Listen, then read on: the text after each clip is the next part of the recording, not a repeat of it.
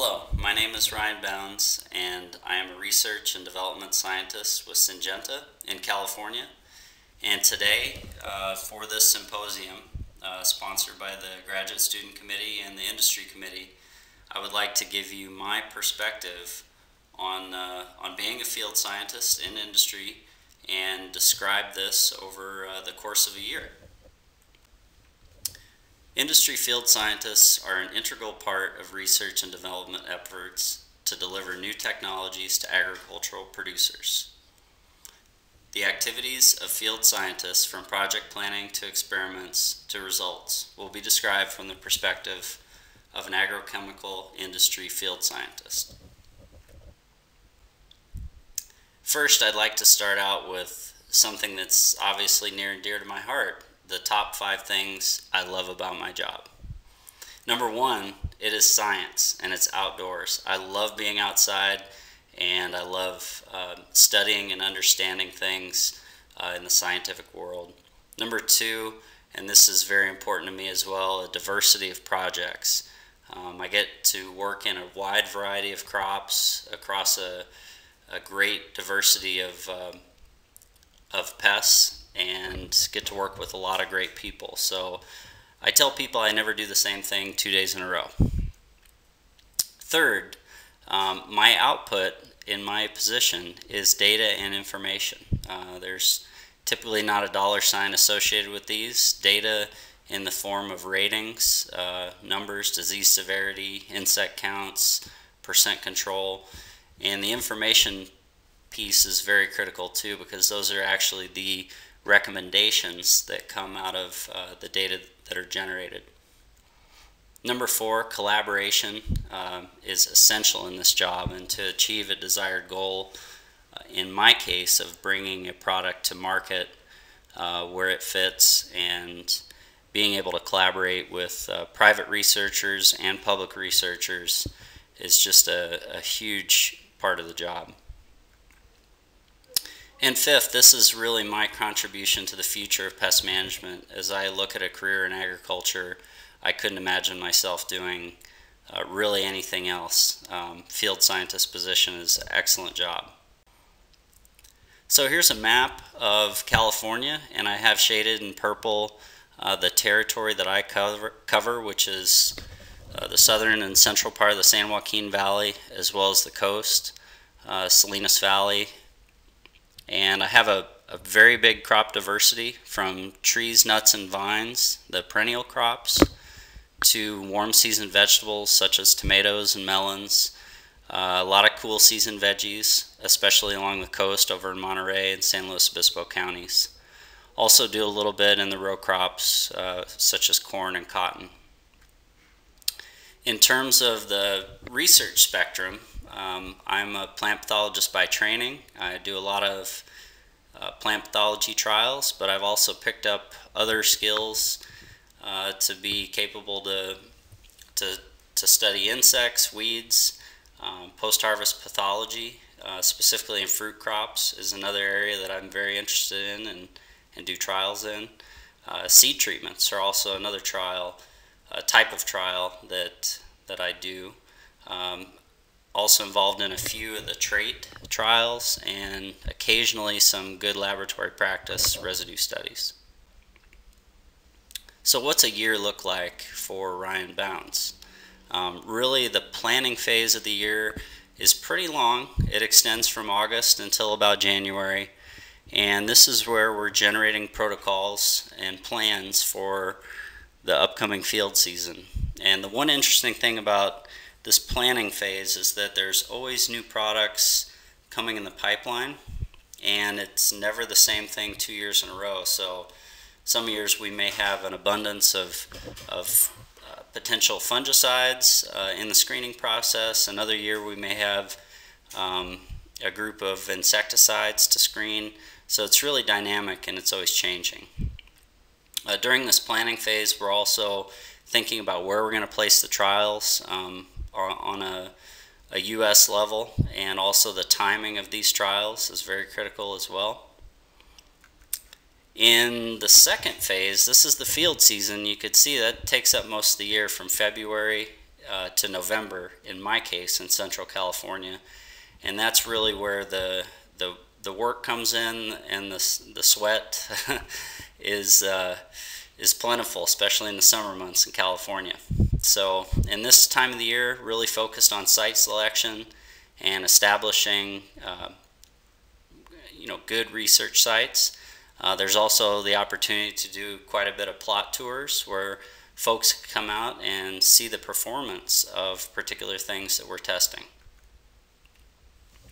And then lastly, the major part of the year is the results portion, and that spans from September until about January. And that's really where the, the key decisions are made. That's when we have a, a chance as field scientists to look at a lot of the data from not only our own territory but across the U.S. and, and other parts of the world as well uh, to really draw conclusions and to boil everything down into okay, do we have a product? Um, how are we going to uh, label this product and what are we going to do with it? So it's it's pretty exciting. It's it's in the flow of the research and development process. So the year starts out in early February with almond trees blooming, and uh, it's it's a real blessing to be able to work in such a pretty crop. Um, during this time period, we do uh, blossom blight studies with Monilinia laxa, Monilinia fructicola, and this is a small uh, blossom assay that was done and as you could see, uh, some of the blossoms are, are quite infected with this, but uh, these are fun to work with. Very meticulous trials. They take a lot of time, but uh, very meaningful results come out of this. Most of the applications are, there's a variety of ways to apply, but this is one application technique using a PTO uh, driven air blast sprayer, um, applying to small trees. And you will note toward the top of the picture, uh, there's actually a PVC pipe that goes up through the middle of the tree, and that's where we run additional uh, overhead irrigation, which is not commercial practice, but helps promote disease development uh, due to the additional moisture. So it is kind of fun to um, to play with the environment a little bit to promote disease development. Um, there have been uh, this is a picture out on the west side of the valley. These are melons and a very large seed treatment trial. Each replication, each experimental unit in these trials were um, just over one and a half acres um, long, so in size, and that was that was a fun trial to do. Such a pretty place to work, and and also on a much larger scale than most of the research plots are. Uh, we also do a lot of small plot studies. Uh, this is in an almond orchard where we had a li very limited amount of product, experimental product to work with, and actually did um, small branch trials where we flagged um, six branches per treatment on different trees and used a household spray bottle to apply the, the fungicides, and this is for control of Alternaria leaf blight in almonds. Uh, very good data out of this trial, but on definitely a very, very small scale. So data collection is really the utmost important thing in, in this role, uh, both the accuracy and thoroughness of it. Um, there's a lot of time spent counting plants, counting insects, counting lesions, uh, weighing, taking yield. Um, a lot of observation is really key in this role um, both from, from the perspective of your target pest, but also any adverse crop response that, that any of the products may cause. So uh, data collection is, is very important and very routine in this role. And really observation is key. So you can see the leaf on the left uh, has some insect feeding from cabbage looper, as does the one on the right. But the one on the right, you could see there's a tan hue to the leaves, and that's actually phytotoxicity. And so the adjuvant that we used on the right hand side actually discolored the leaves and uh, being able to be out there in the fields and discern these differences and notice these things is, is critical before these products get to market. Also do seed treatment studies, and this is kind of phase one. Uh, in the greenhouse, we're looking for germination, any differences in terms of the rate of uh, emergence, also any differences in plant size. And phase two in the field, uh, this was an inoculated trial with tomatoes with Rhizoctonia solani, and you could see there's uh, a row on the left that has uh, much fewer plants than some of the rows uh, to the right of that. Uh, this is really where the rubber meets the road as far as how well does a seed treatment protect against certain soil-borne fungi. A great powdery mildew study, you could see the untreated control on your left and one of the more effective treatments on the right. And you need to hire an enthusiastic technician. it's fun to be out in the field. It could be it could be a great job and when you have the right people around you to to work with you on your research projects. It just makes it all the more enjoyable. Uh, this is a post-harvest study with penicillium digitatum on oranges and these are inoculated studies. You can see in the middle the two fruit on the right in the middle of the black circle there's a puncture wound. So there's a wound there and the inoculum is applied directly to that wound. Um, these are really fun studies. And here's another study. This was actually done on peaches and nectarines. Nectarines on top, peaches on the bottom. And this was a brown rot study, Monilinia fructicola.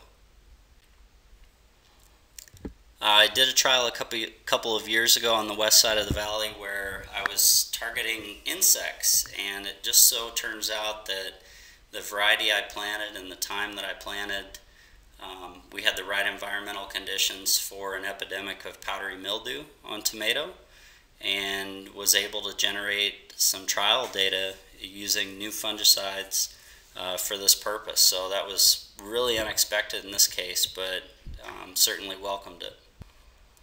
And this, in the very same field, on the same day, uh, we had uh, tomato fruit worm in there too. So it was kind of a two for one type situation where you got to learn a lot off uh, one particular uh, set of research plots in an area. Uh, the plot tours, as I mentioned earlier, these are uh, very valuable to bring out uh, colleagues and customers to be able to show them, you know, what we're working on, uh, much, many of the products that I work on are still in the pipeline. They're still coded products, and eventually, if if they make it to market, uh, they will have regular product names. But plot tours are a good opportunity to uh, showcase these before they make it into the marketplace and into a commercial uh, situation. Uh, obviously, I do a lot of applications of different things like fungicides, insecticides, and herbicides. This is a herbicide trial in pistachios, and my point here is just uh, calibrating. Obviously, a lot of these things are applied with small equipment. In this case, it's a hand boom, and so proper calibration is, is very critical there. And to be able to know how to calibrate different pieces of equipment is, is necessary. I've had the opportunity over the past several years to learn new disciplines. Codling moth on apple is not something uh, in graduate school as, as a plant pathology student that I had really ever considered working in. But now I'm doing codling moth trials on apples, and uh, they're actually really fun. So, what are the challenges in field scientist positions? Well, first of all, I guess it's kind of having a balancing act. Um, time management with the different trials, the different field studies, uh, knowing when to do them, and then also balancing that time with, with meetings and things like that. Um, having a lot of trials in a big territory, um, obviously want to optimize the efficiency of, of, the, of the whole program. Uh, not only the trials, but also the paperwork that come with them. In my program, I've really strived to complete high quality trials. So I would much rather have four, you know, top grade A quality trials rather than uh, eight kind of mid grade trials. And that's something that um, is very important to me personally.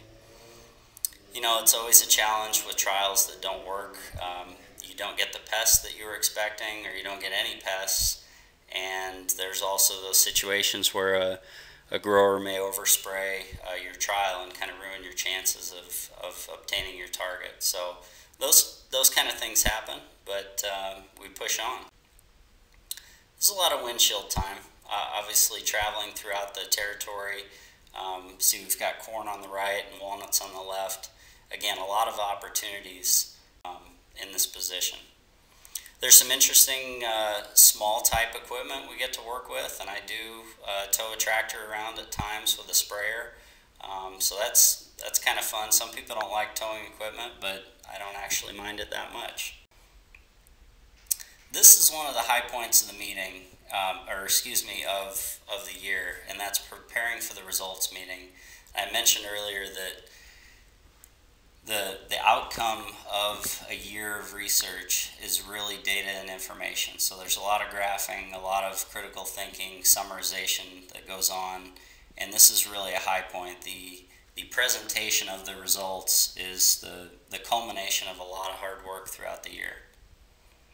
Uh, this would be an example uh, data graph of what would be prepared for a meeting, showing different experimental fungicides, how they compare with the standard.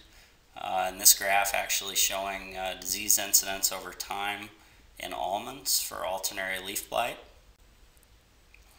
So I'll wrap up here by just showing this again, the top five things I love about my job. And I hope that uh, today you've been able to get a good taste of, of what my position is and obviously why I enjoy it.